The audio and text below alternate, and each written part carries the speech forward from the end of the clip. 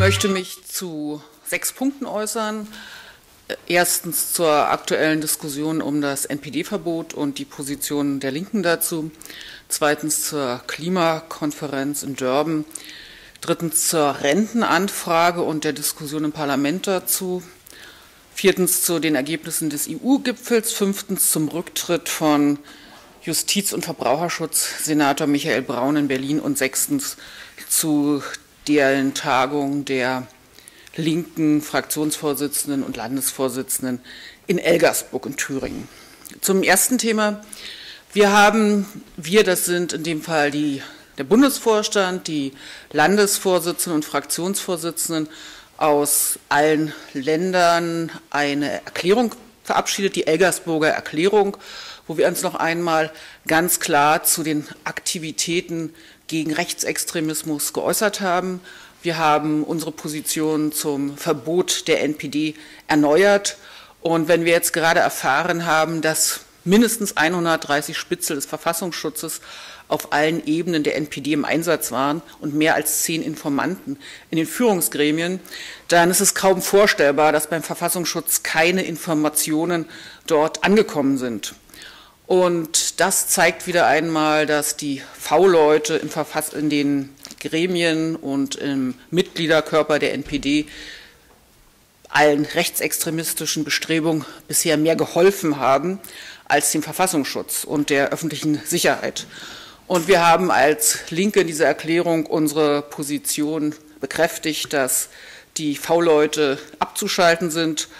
Und es ist für mich ziemlich unverständlich, dass auf dem Innenministertreffen versucht wurde, alles auf die lange Bank zu schieben und zu erklären, man brauche mindestens drei Jahre, um einen Verbotsantrag vorzubereiten. Das halte ich für völlig absurd. Es hätte eigentlich die Zeit seit dem letzten Verbotsantrag genutzt werden müssen, um einen entsprechenden Antrag vorzubereiten.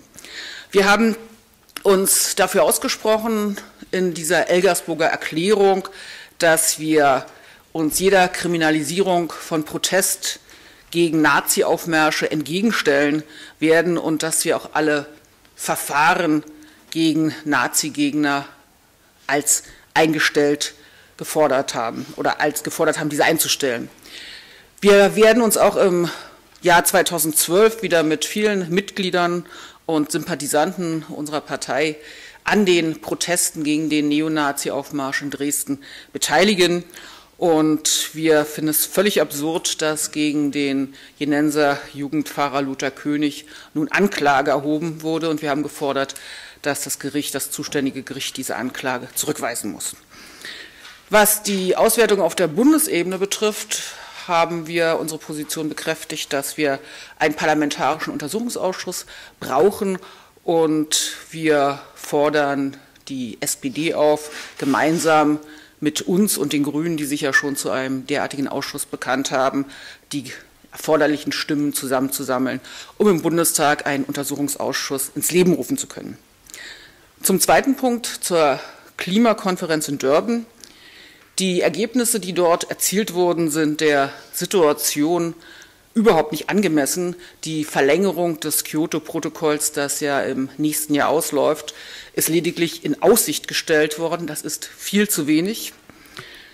Ich finde, dass die Bundesrepublik Deutschland eine große Chance hat, nämlich unter den großen Industrieländern könnte die Bundesrepublik beweisen, dass sie als erste oder als eine der Vorreiterinnen die Energieversorgung auf eine regenerative Basis stellen könnte.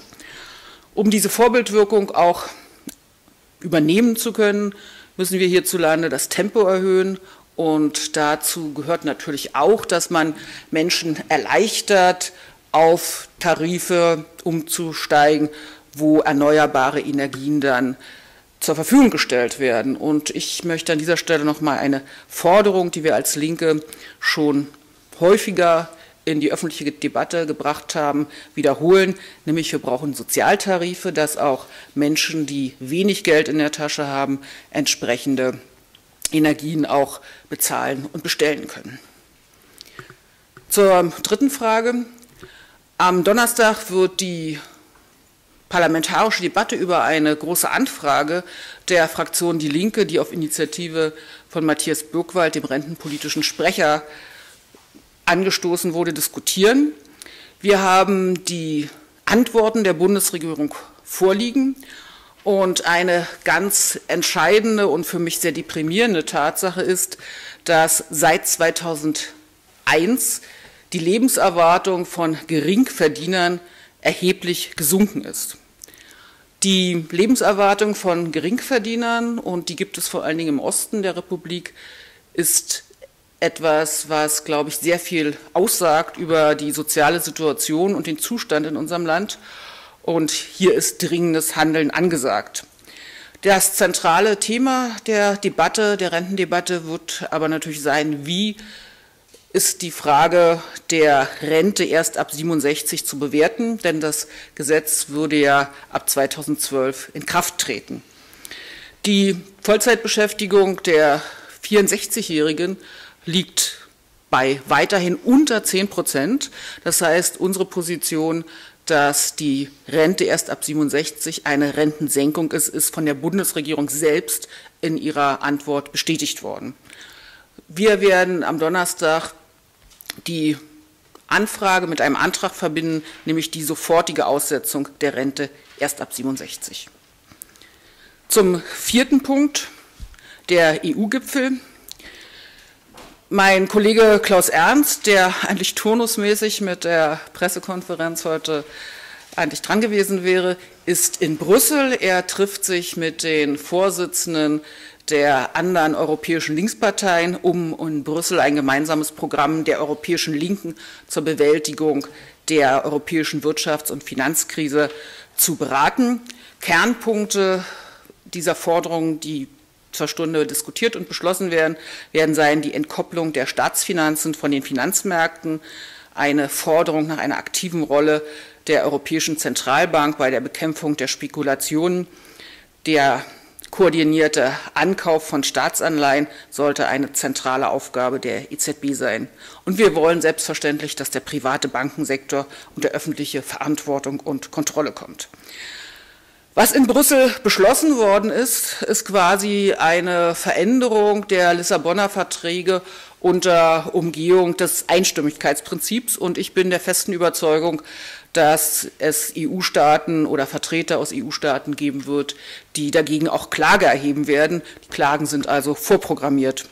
Aber viel wichtiger erscheint mir, dass kein wirkliches Problem gelöst ist. Die Idee, die Bundeskanzlerin Merkel versucht mit aller Brutalität durchzusetzen, ist der Export der Agenda 2010, Sparprogramme und Sparprogramme, die Länder oder Kürzungsprogramme, äh, Programme, die die Länder in die Rezession führen werden. Es ist ja nur überall modern geworden, große Kritik an dem Verhalten der Briten zu äußern und zu üben. Diese Kritik kann man als zum Teil berechtigt charakterisieren. Sie ist aus meiner Sicht dahingehend berechtigt, dass ja die Briten bzw. Cameron abgelehnt hat, die Finanzmärkte zu regulieren. Aber man kann sein Verhalten auch verstehen, denn in Großbritannien gab es ja in den vergangenen Jahren heftige Kürzungspakete und die Briten haben darauf mit massivem Widerstand reagiert und ihm war klar, dass nicht weiterhin massive Kürzungsmaßnahmen durchzusetzen sind. Ich glaube auch, dass die Krise nicht mit Kürzung bekämpft werden kann, sondern wir haben ja keine Staatsschuldenkrise, wie häufig geschrieben wird, sondern eine Krise der Vermögensverteilung. Wir haben in der Eurozone über 27 Billionen verwaltetes Vermögen und wir brauchen endlich europäische Solidarität, und zwar auch die Solidarität der Geldbesitzer. Fünftens zum Rücktritt von Michael Braun. Justiz- und Verbraucherschutzsenator in Berlin seit wenigen Tagen. Der eine oder andere erinnert sich, wie es dazu kam, dass in Berlin die Große Koalition abgewählt wurde und vor zehn Jahren dann nach Koalitionsverhandlungen zwischen der damaligen PDS und der SPD ein Senat gewählt wurde, der dann auch eine zweite Legislaturperiode bestritten hatte. Die Gründe für die Abwahl der CDU waren ein Sumpf, und zwar insbesondere ein Banken- und Immobiliensumpf. Und die Koalition aus SPD, PDS bzw. später Linke hat zehn Jahre lang versucht, diesen Sumpf trocken zu legen. Und jetzt zeigt sich, dass er aber noch sehr feucht und nicht trockengelegt ist. Die CDU fängt dort wieder an, wo sie 2001 aufhören musste. Der Rücktritt von Herrn Braun ist natürlich folgerichtig gewesen. Ich habe ihn auch wie viele andere für heute erwartet, aber er sagt sehr viel aus über den Zustand der CDU in Berlin. Der SPD in Berlin kann man nur sagen, dass sie offensichtlich sehr blauäugig in diese Koalition gegangen ist, denn Michael Braun war einer der alten Vertrauten von Klaus Rüdiger Landowski. Ich habe ja als Berliner Abgeordnete und äh, auch langjährige Abgeordnete im Berliner Abgeordnetenhaus alle diese Prozesse immer sehr genau verfolgt und natürlich bin ich auch heute noch sehr daran interessiert, wie es dort weitergeht. Zum sechsten Punkt, die Diskussionen und Ergebnisse in Elgersburg, in Thüringen. Elgersburg ist äh, ein ja, schon fast traditioneller Versammlungsort der Linken zum Jahresende getroffen haben, sich in verschiedenen Beratungen der geschäftsführende Parteivorstand gemeinsam mit den Vorsitzenden der Landesverbände bzw. Landessprechern, da gibt es ja unterschiedliche Bezeichnungen in den einzelnen Landesverbänden, und die Fraktionsvorsitzenden und Geschäftsführer der Bundestagsfraktion und der Landtagsfraktion. Und wir haben dort natürlich zurückgeblickt auf das vergangene Jahr und Positionen diskutiert, die Fraktionsvorsitzenden natürlich auch sehr konkret ihre parlamentarische Arbeit. Ich habe äh, bei den verschiedenen Beratungen den Schwerpunkt meiner Wünsche und Vorstellungen darauf gehend gelegt, dass für mich im nächsten Jahr im Mittelpunkt steht, wie wir unser Programm umsetzen wollen. Wir haben ja in Erfurt ein wie Sie alle wissen, mit großer Zustimmung ein Parteiprogramm beschlossen. Und der eine oder andere ist manchmal dem Irrtum aufgesessen, dass er sagt, okay, wir haben das Programm beschlossen, wir legen es mal in die Schublade und fangen wieder bei Null an. Das sehe ich nicht so. Wir haben in unserem Programm sehr viele konkrete Ansatzpunkte auch für politisches Handeln und politische Umsetzung. Und ich habe vorgeschlagen, und das ist auch auf großes Interesse und Zustimmung gestoßen, dass wir aus jedem Landesverband auf dem Parteitag in Göttingen sozusagen ein Referenzprojekt vorstellen, wie das Parteiprogramm umgesetzt wird. Da kann es Initiativen geben, ich denke zum Beispiel an Hamburg, ohne das Ihnen vorschreiben zu wollen, die besonders aktiv sind in der Frage der Kontrolle von Rüstungsexporten im Hamburg-Hamburger Raum gibt es ja sehr viele Rüstungsbetriebe. Es kann ein Projekt sein aus der Gesundheitswesen, zum Beispiel die Wiedereinführung der Gemeindeschwestern. Auch dazu gibt es ja Ansätze. Oder andere Projekte wie die eine Initiative, die gerade in Mecklenburg-Vorpommern läuft, nämlich ein Volksentscheid zur Erhalt von Theatern und Orchestern. Wir haben zum anderen, zweiter Punkt, darf ich das mal sehen? Dankeschön, ein Buch vorgestellt über die Kommunalpolitiker unter dem schönen Titel Die Kommunalen. Das ist in Hamburg erschienen, im VSA-Verlag.